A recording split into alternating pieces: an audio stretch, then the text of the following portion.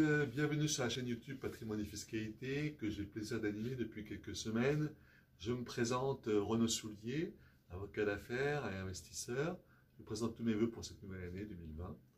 Santé, bonheur et réussite dans tout ce que vous allez entreprendre. Aujourd'hui, je souhaite attirer votre attention sur euh, le, les obligations déclaratives en matière de cession de crypto actifs et sur la manière de remplir l'imprimé 3916 euh, qui est ici, que vous pouvez télécharger sur le site du gouvernement, impôt.gouv.fr.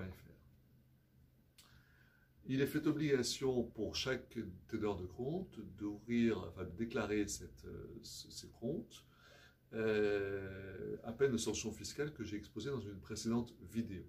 Alors, comment déclarer cela? Vous pouvez le faire en ligne, c'est un peu fastidieux, mais cela se fait, ou vous pouvez le faire par papier, imprimé 3916.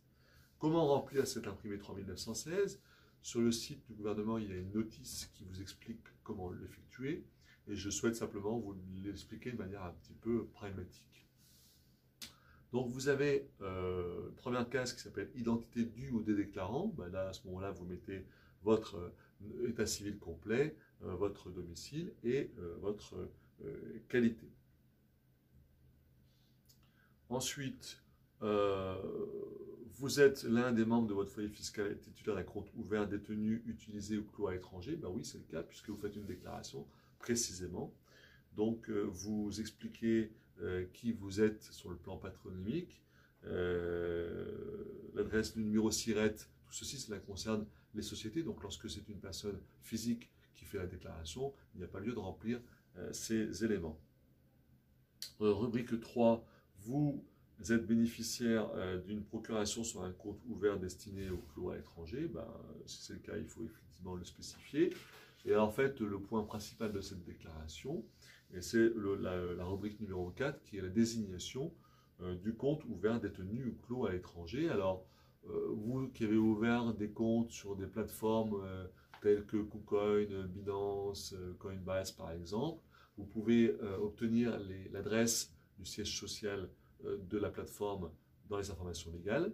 Et à ce moment-là, reporter les références du compte, l'adresse, euh, le pays, euh, le nom de la société qui est détentrice du compte, et ainsi pouvoir remplir cet imprimé. Donc, si vous avez par exemple ouvert 5 comptes, il vous faudra faire 5 déclarations 3916 que vous joindrez à votre déclaration d'impôt sur le revenu global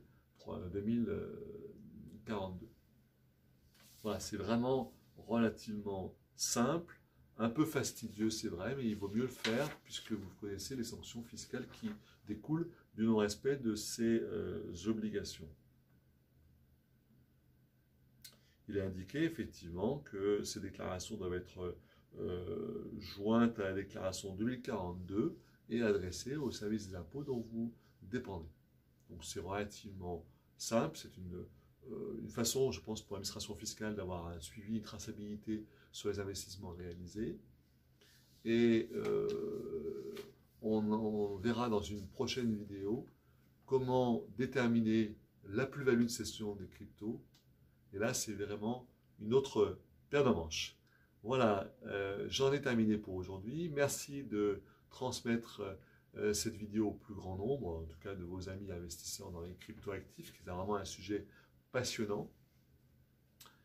Merci de vous abonner à la chaîne YouTube Patrimoine et Fiscalité que j'anime euh, pour me donner euh, des encouragements à le faire, puisque cela prend euh, de l'énergie et des ressources en plus de mon activité d'avocat qui est actuellement extrêmement chargée. Et puis merci si vous souhaitez de télécharger le cadeau de bienvenue à matrice CCQ occupé pour qualifier au projet d'investissement en échange de votre adresse mail de façon à pouvoir correspondre avec vous euh, par la suite. Je vous dis à très vite pour de prochaines vidéos. On investit ensemble. Très belle journée. Merci. À bientôt. Au revoir.